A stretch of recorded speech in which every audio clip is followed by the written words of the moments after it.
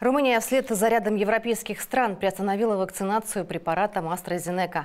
Накануне отказались ее использовать власти Исландии, Дании, Норвегии, а еще ранее Италии, Австрии, Эстонии, Литвы и Люксембурга. Напомним, по состоянию на вечер четверга в Молдове препаратом AstraZeneca были привиты свыше 9 тысяч медработников. По данным министерства, зафиксировано около 300 случаев проявления побочных эффектов.